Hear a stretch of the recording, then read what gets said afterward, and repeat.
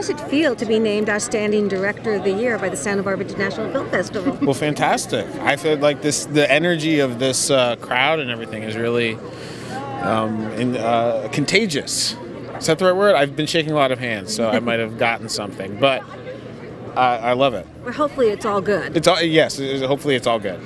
Why was it so important for you to make Get Out in today's climate?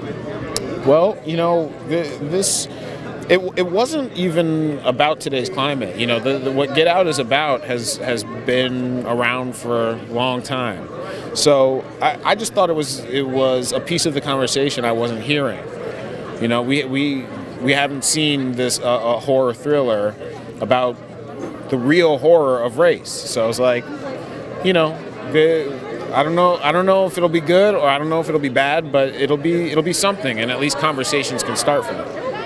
For someone who's known for comedy, why did you choose to make your first uh, directorial debut in drama? Well, I you know I really can consider it horror, horror thriller, but there's notes of drama, there's notes of comedy.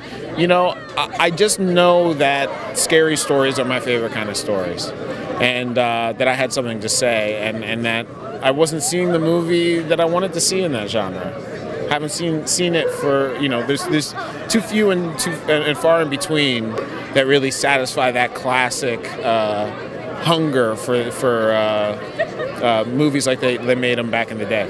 And can you talk about some of the symbolism that was so prevalent throughout the film, like the bucks? Well, the Bucks, you know, uh, you know, obviously the the Bucks there's the, is uh, you know a reference to you know the, the word buck, which has been used in a derogatory way to describe you know black men. Um, but it was also a symbol for you know Chris, the the, the, the lead character in the movies, um, loss of innocence and and um, his his mother and his guilt that he has for his mother. So you know.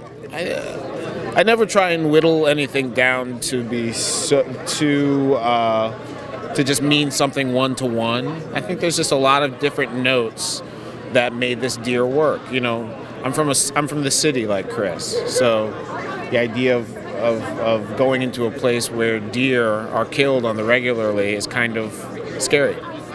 Yeah, very scary. Can you talk about working with that incredible cast? Uh, I mean, the cast was just. I I mean, every single one of them really put a lot of trust in my hands. You know, this this movie could have gone very poorly. You know, and the bad version of this movie is very is very bad. So I, I'm just I feel so indebted to them. I mean, th- these are actors I really I couldn't afford, and I couldn't I have no business um, getting in my first movie, and they all showed up and gave me 100%. It was it was the, m- the most magical part of this all. And we're all the better for it. Thank you. Believe me. Thank you so much. Thank you. What's next for you?